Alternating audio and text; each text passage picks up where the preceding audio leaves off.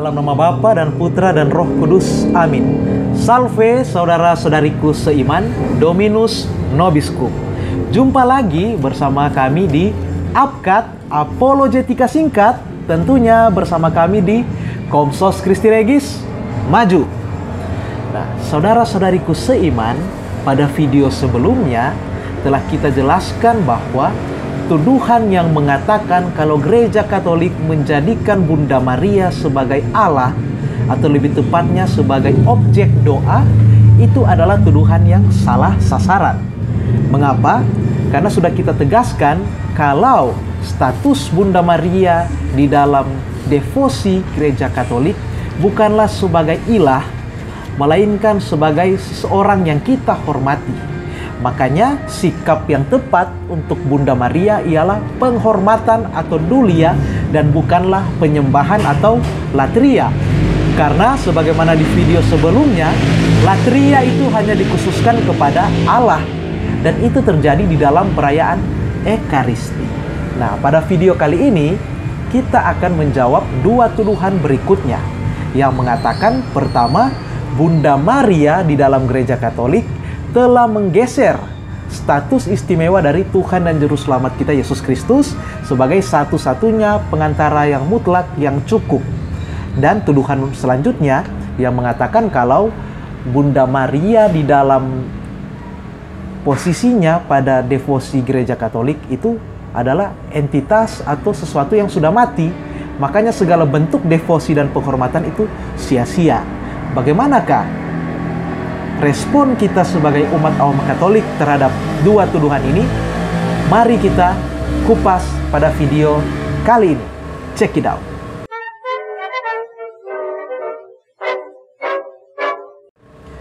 Saudara-saudariku yang terkasih, patut diketahui bahwa penghormatan kita kepada Sang Bunda melalui doa atau devosi, misalnya yang paling khusus ialah doa Salam Maria yang kita kumandangkan di dalam bulan ini, itu sama sekali tidak akan bisa mempengaruhi status kepengentaran mutlak Kristus kepada Bapa dan juga penghormatan kita itu sama sekali tidak ditujukan kepada orang mati atau mayatnya Bunda Maria.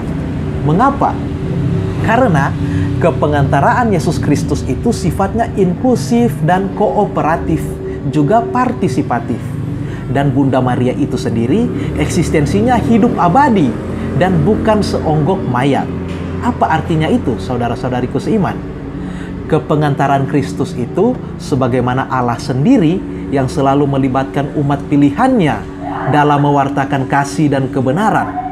Sebab sabda Allah sendiri menyatakan bahwa Kristus sebagai kepala tidak bisa terpisahkan dari anggota-anggotanya dan kita tahu anggota-anggotanya adalah gereja, maka tak akan pernah bisa kesatuan tubuh Kristus itu terpisah.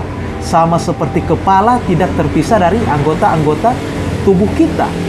Anggota tubuh yang lemah mendapat perhatian khusus dan anggota tubuh yang kuat membantu anggota tubuh yang lemah tadi kitab suci sungguh mengajarkan kepengantaraan inklusif itu di dalam 1 Korintus 12 ayat 12, 14, 24 sampai 28. Yang mana dari ayat-ayat itu memperlihatkan bahwa Allah sendiri menetapkan beberapa orang dalam jemaat yang fungsinya apa? Untuk bekerja sama dengan Sang Kristus sang kepala di dalam tugas perantaraannya yang dianggap mutlak oleh serangan-serangan tadi yang mana untuk membawa manusia kepada Allah Bapa. Juga di dalam 1 Korintus bab 3 ayat 9 yang menunjukkan bahwa walaupun Allah dapat berkarya sendirian saja namun apa? Untuk menyelamatkan manusia pada kenyataannya Allah melibatkan para rasul untuk menjadi kawan sekerjanya, untuk membangun ladangnya dan bangunan Allah sendiri. Sebagaimana 1 Korintus 10 ayat 33 dan juga 1 Korintus 11 ayat 1 yang sungguh menegaskan bahwa mengusahakan keselamatan orang banyak dan juga mengikuti teladan Kristus adalah suatu tugas panggilan orang percaya sebagaimana yang dilakukan oleh Rasul Paulus itu sendiri. Dari ayat-ayat tadi, sungguh tersirat bahwa antar anggota gereja memiliki tugas sebagai perantara satu sama lain. Bahkan untuk tugas membawa orang lain kepada keselamatan. Jika antar anggota, termasuk di dalamnya Rasul Paulus sendiri sebagai penulis surat, dapat bekerja sebagai perantara atau perpanjangan karya Allah atau juga Yesus Kristus, maka saudara-saudariku yang terkasih, yang seiman, sangat masuk akal pula ke pengantaraan dari Sang Bunda Allah itu sendiri, yakni ke pengantaraan Bunda Maria, yang tak akan bisa mengurangi ataupun menggantikan pengantaran Kristus. Gereja dan Bunda Maria hanya mengambil bagian dari kepengantaran Kristus yang satu-satunya itu dan bukan sebagai pengganti atau penggeser. Sebagaimana Rasul Petrus dan para penggantinya mengambil bagian dari otoritas kepemimpinan Kristus yang tunggal sewaktu Rasul Petrus dinamai sebagai batu karang. Lebih jelasnya lagi, status kepengantaran Sang Bunda, Bunda Maria, dalam iman yang benar yakni iman Katolik, perlu dilihat relasinya dengan Allah Tritunggal Maha Kudus itu sendiri Tuhan kita bersama. Sebagai putri Allah Bapa, Maria menunjukkan ketaatannya untuk bekerja sama dengan Allah dalam karya keselamatan. Sebagai Bunda Allah Putra, Bunda Maria berpartisipasi dalam karya penyelamatan manusia dan senantiasa membawa seluruh umat Allah kepada putranya Tuhan kita Yesus Kristus. Dan sebagai mempelai Allah Roh Kudus, Bunda Maria menjadi sosok yang kudus dan tidak bercela. Itulah kepengantaran Sang Bunda Maria. Maka atas dasar itulah magisterium gereja Katolik semakin menegaskan status keistimewaan Sang Bunda Maria sebagai perantara tanpa menggeser kecukupan Kristus sekalipun. Yakni tepatnya di dalam konstitusi dogmatis tentang gereja yakni Lumen Gentium. Sebagaimana pemaparan Lumen Gentium berikut karena pahala putranya ia ditebus secara lebih unggul serta dipersatukan dengannya dalam ikatan yang erat dan tidak terputuskan. Ia dianugerahi karunia serta martabat yang amat luhur yang menjadi bunda putra Allah maka juga menjadi putri Bapa yang terkasih dan kenisa Roh Kudus.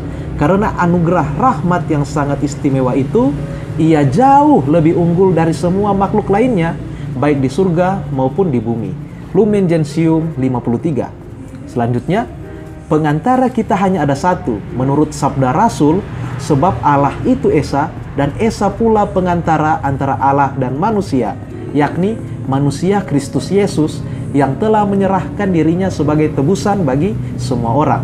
Adapun peran keibuan Maria terhadap umat manusia sedikit pun tidak menyuramkan atau mengurangi pengantaraan Kristus yang tunggal itu, melainkan justru menunjukkan kekuatannya. Sebab segala pengaruh Santa Perawan yang menyelamatkan manusia tidak berasal dari suatu keharusan objektif, melainkan dari kebaikan ilahi. Pengaruh tersebut mengalir dari kelimpahan pahala Kristus, bertumbuh pada pengantaraannya sama sekali tergantung daripadanya dan menimba segala kekuatannya daripadanya. Pengaruh itu sama sekali tidak merintangi persatuan langsung kaum beriman dengan Kristus, melainkan justru mendukungnya. Lumen Gentium 60. Dan juga sebab tiada makhluk satupun yang pernah dapat disejajarkan dengan sabda yang menjelma dan penebus kita. Namun seperti imamat Kristus secara berbeda-beda ikut dihayati oleh para pelayan atau iman maupun oleh umat beriman dan seperti satu kebaikan Allah terpancarkan secara nyata kepada makhluk-makhluk ciptaannya dengan cara yang berbeda-beda, begitu pula satu-satunya pengantaran penebus tidak meniadakan, melainkan membangkitkan pada mereka aneka bentuk kerjasama yang berasal dari satu-satunya sumber. Adapun gereja tanpa ragu-ragu mengakui bahwa Maria memainkan peran yang berada di bawah Kristus seperti itu. Gereja tiada hentinya mengalaminya dan menganjurkan kepada kaum beriman supaya mereka ditopang oleh perlindungan bunda itu lebih erat menyatukan diri dengan sang pengantara dan penyelamat. Lumen Gentium 62. Maka, saudara-saudariku seiman yang dikasihi Tuhan, dengan status yang istimewa dan penuh penghormatan tersebut, akan sangat layaklah bagi gereja untuk berdevosi dan memohon doa kepada Sang Bunda. Justru Bunda Maria itu sendirilah yang berdoa dan mendoakan kita dan bukan sebaliknya. Bunda Maria mendoakan jiwa kita kepada Allah Tritunggal yang Maha Kudus. Untuk itu, eksistensi Bunda Maria adalah sungguh hidup dan bukan mati. Sekali lagi, eksistensi dari Sang Bunda adalah sungguh hidup dan bukan mati. Bahkan, Bunda Maria lebih hidup daripada pendoa mana pun yang ada di dunia yang masih memiliki kejasmanian atau unsur badania putranya sendiri Tuhan dan Juru Selamat kita sungguh telah berjanji bahwa barang siapa yang percaya kepadanya tidak akan mati, melainkan memperoleh hidup kekal. Bandingkan Injil Yohanes bab 3 ayat 16 dan bab 11 ayat 25. Dan Bunda Maria bukan hanya percaya, melainkan memberikan sang firman tubuh dan setia bahkan mengalami keterpilihan khas dan khusus yakni sebagai Theotokos atau Bunda Allah. Sebagai Theotokos, Bunda Maria bereksistensi kekal dan bukan sebagai mayat. Oleh karena itu, wajarlah jika kita memohon dukungan doa dari beliau karena beliau sungguh hidup dan kekal. Sebab kitab Wahyu sendiri mengatakan di dalam bab 8 ayat 3 sampai 4 bahwa mereka yang bersatu dengan Allah dalam kekekalan, yakni surga, mempersembahkan doa-doa bagi kita kepada Allah. Maka dari sini, benarlah kata Rasul Paulus kepada gereja di Roma bahwa hubungan kasih antar kita sebagai sesama anggota Kristus tidak terputus oleh kematian.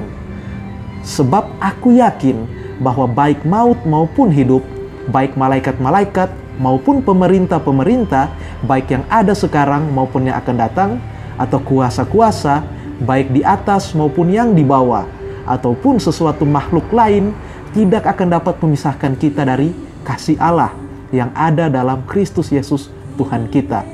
Roma bab 8 ayat 38 sampai 39. Dengan begitu, penghormatan kita terhadap Bunda Maria tidak akan pernah melanggar ayat-ayat larangan akan penyembahan manusia, sekaligus tidak pernah menggeser penyembahan terhadap Allah Tritunggal karena itu sifatnya dulia dan bukan latria.